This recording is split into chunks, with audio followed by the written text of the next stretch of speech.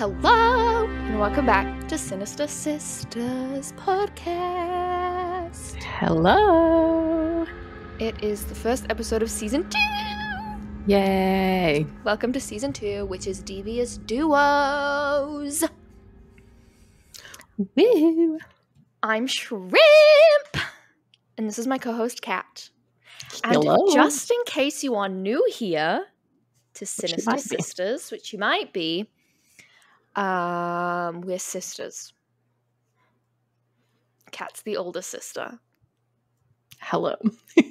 I'm 23. I didn't plan this pot out, so I don't really. I don't know what I'm saying. I feel like I can tell. Hell yeah! Anyways, this is the pot they did plan out. This season, we're talking about people who commit crimes in pairs, Mm, because that's the duo of the devious duos, you know? Indeed. Uh, um, so we obviously have to do some self promotion.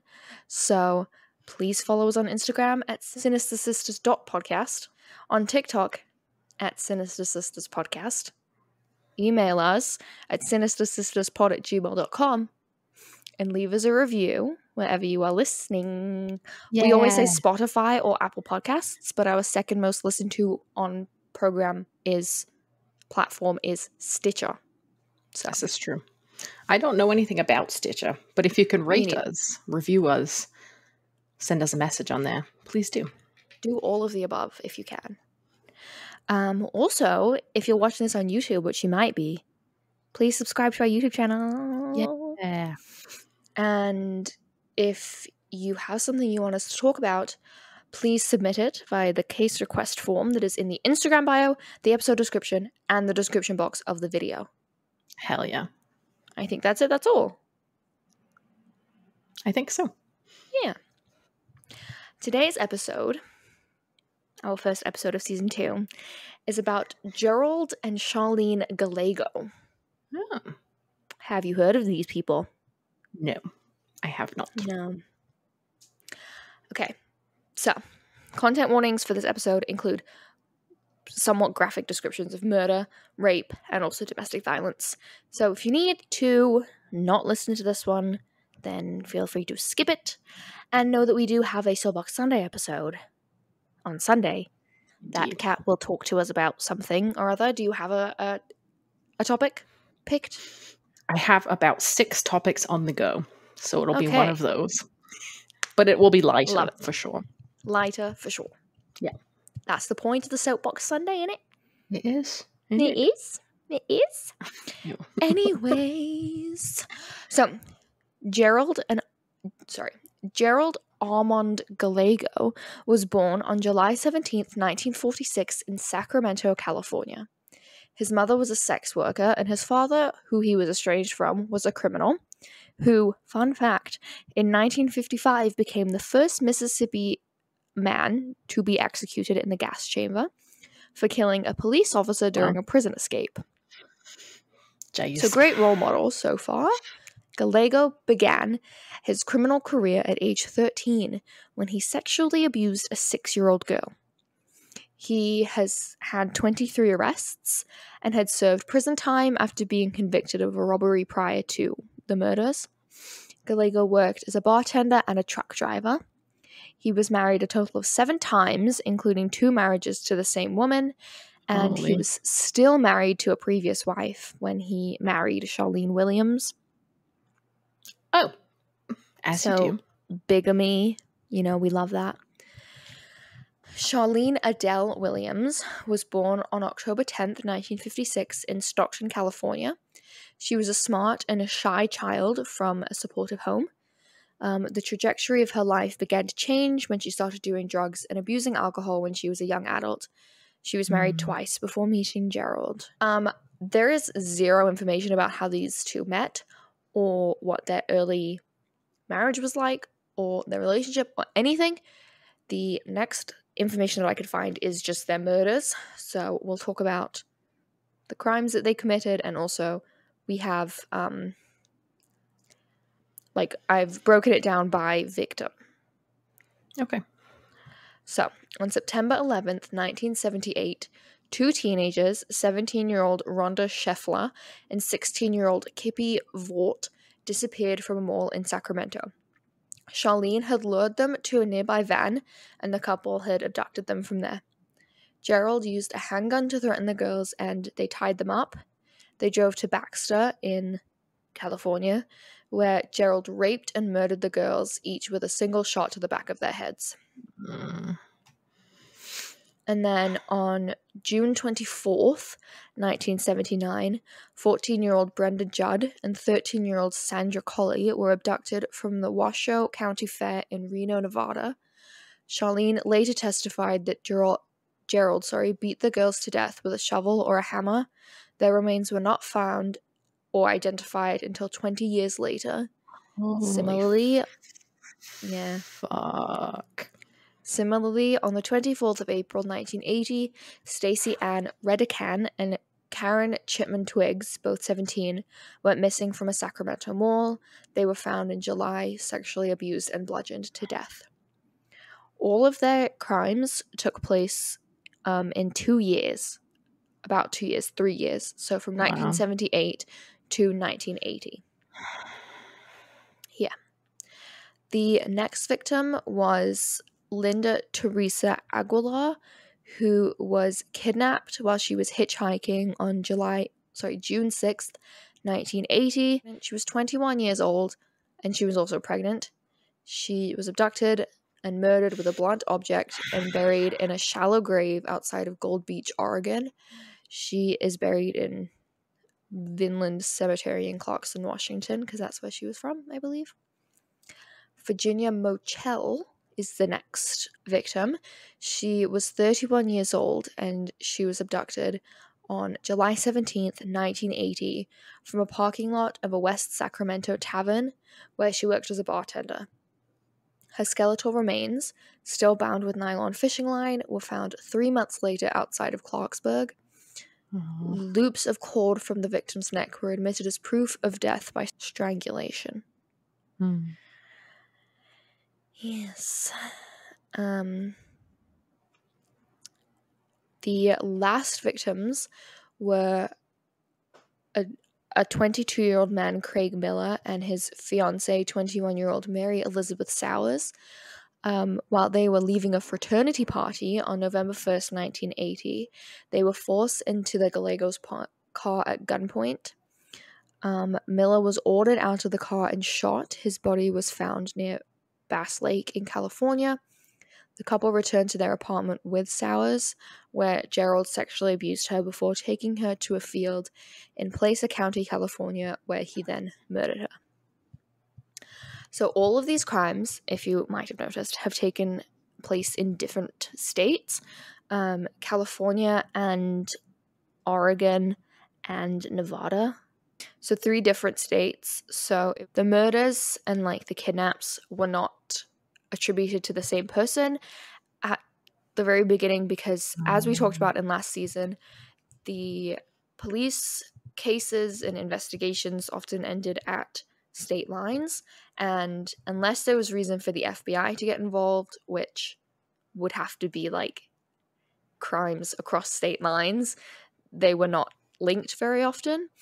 Um, so none of it was linked until Craig Mhm. Miller and Mary Elizabeth Sowers went missing or were murdered because a friend of Craig Miller's and Elizabeth Sowers witnessed their abduction and reported the car's license plate number.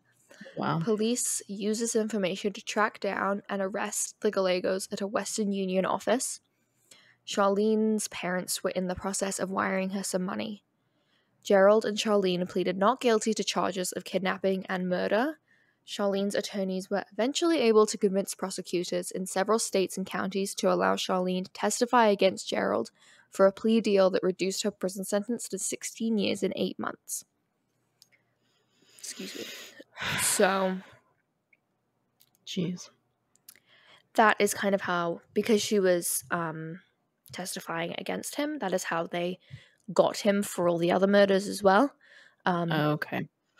whereas there wasn't like evidence that linked them before you know um so in June 1983, Gerald was sentenced to death in California for the murders of Mary Elizabeth Sowers and Craig Miller.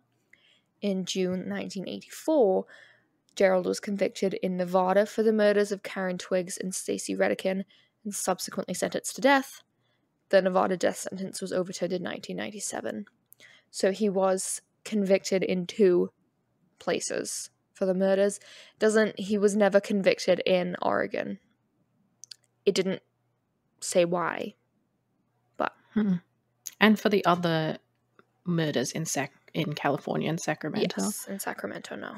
Those maybe because he was already sentenced to death. They didn't think that there needed to be another trial and Mm. I don't But you know. th- Yeah. You think just for the family's closure, it would be nice, but Yeah. In July of 1997, Charlene completed her sentence and was released. While in prison, she extensively studied psychology, business, and Icelandic literature. During an interview, Charlene claimed that she was also a victim when she said, quote, There were victims who died and there were victims who lived. It's taken me a hell of a long time to realize I'm one of the ones who lived. End quote. She also claimed that she tried to save some of these people's lives. In 2002, Gerald died of cancer in a Nevada prison medical center while awaiting execution. okay. So he's dead. She's not, from what I can understand. And she basically um, stated that it was all him. He did everything. Um, he dragged her into this murderous, felonious relationship, which I suppose could be the truth. Yeah. It it did. Um, there is a theory that um, serial killers often have terrible childhoods, and um, Gerald did. Like his, he was estranged from his father, so he didn't have a father figure, and then his father figure, or his father did, like was executed, also for murder. Hmm. And his mum was a sex worker, which whatever, but she probably like maybe wasn't around, or made him hate women or something. I don't know. Yeah. And if you listened to our most recent soapbox episode from this past Sunday, uh, we did talk about how people find themselves in in these kinds of relationships. And um, it sounds like Charlene sort of meets that profile of the dependent partner. Yes. Remember how we talked about like they often were from middle class families with maybe some abuse in the home, but otherwise relatively, you know, happy, normal childhoods a lot of the time. So, Yes. Yeah, I don't know. There wasn't I couldn't find very much information about their like personal lives, I guess, Mm. or the way that their marriage was organized or set up. There wasn't any information. Usually you can find like oh, he was hitting her and she also didn't have a job and blah blah blah and so Yeah. it's kind of easier to point to that that maybe she, she was dependent on him in some way but i couldn't find Mhm. anything really about um who they were they are basically just known for these murders and that's it that's Okay. all like they are known that is known about them in Mm. the world and she's out now, right? Yes she was released in 1997 Oh, Wow. Okay. So she hasn't murdered anybody else since that we know of. So not that we know of she didn't go for that's not 16 years though is it no it is never mind math is not our strong suit I here on Sinister Sisters. math. Also, I was listening to the um episode, the last episode that we did about like how people find themselves in these like soapbox, whatever. And we were talking about how we love an alliteration. Yeah. And I'm like, devious duo, soapbox Sunday, and then literally forget that the entire podcast is called Sinister Sisters. Indeed. All the alliterations. Yes. So, um, that's all I have for today. This case turned out to be, or this episode turned out to be very short. So, that's it. That's all. It's okay. You are getting three episodes this week, though, friends. So You are. Let us know if there's any devious duos that you want to hear about. Um, and let us know in the case request form if Yeah. you want to hear about anything. I think some planned episodes that I have for this season, um, which we did talk about, I think, last episode, but I'm planning on talking about the Moors murders, um, which is a very long and intricate story. I am planning on talking about Fred and Rosemary West, which I'm hoping Sinister Mum will come and talk to us on that episode because she was telling me this weekend that she remembers it happening. Oh, interesting. So, Huh. hoping We'll have a Sinister sinister Mum will mum come. drop in. Sinister Mum. Yeah, hopefully. And then I also think the Ken and Barbie Killers because that's the little Canadian flair for the for the uh, season because we had one last season with Elizabeth. Wettlaufer. Very good, very fun, very actually not fun at all, but But thanks Let for know. joining us. Let yeah, us let know. us know. Let us know if there's any soapboxes you'd like me to stand on. Yes, we love standing on soapboxes. Thank you for listening to Sinister Sisters. It is I, Thank you so much. We appreciate you. Check back on Sunday for a new episode, and then next Tuesday for another true crime case. Yay! Bye.